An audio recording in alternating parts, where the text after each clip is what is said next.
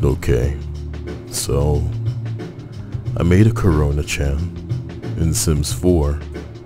Just wanted to have a little, little bit of representation of what's going on in the world right now.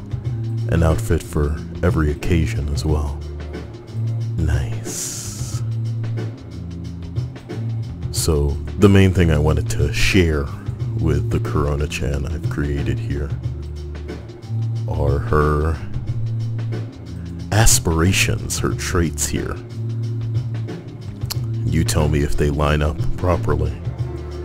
Now, I chose popularity because, contrary to what the Chinese may want you to believe, I think Corona is catching on. There's a little sub category as far as the aspiration is concerned here, and that's friend of the world. So let's see what, what she can become. For the three traits we have self-assured, tends to be a little confident. We also have foodie. I'm not I'm not even gonna I'm not even gonna say anything. You know what I mean? You know? I'm not even gonna say anything. And uh, ambitious because wow we you know everybody keeps talking down to Corona, saying, "Oh, it's just it's just it, you're just this, you're just that." Not a big deal.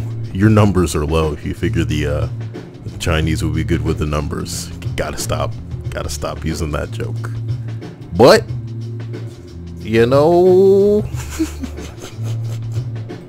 I welcome this addition to my household. Um, as long as it's only virtual, you know, I, you know, I, I, I probably wouldn't invite Corona over IRL, just me. Does that make me racist? I don't care what you think about that. Me not wanting to get a virus doesn't make me fucking racist today. Tomorrow, I don't want to be in the grave, is what I'm trying to say. And if you have something to say to the contrary, maybe you're an idiot.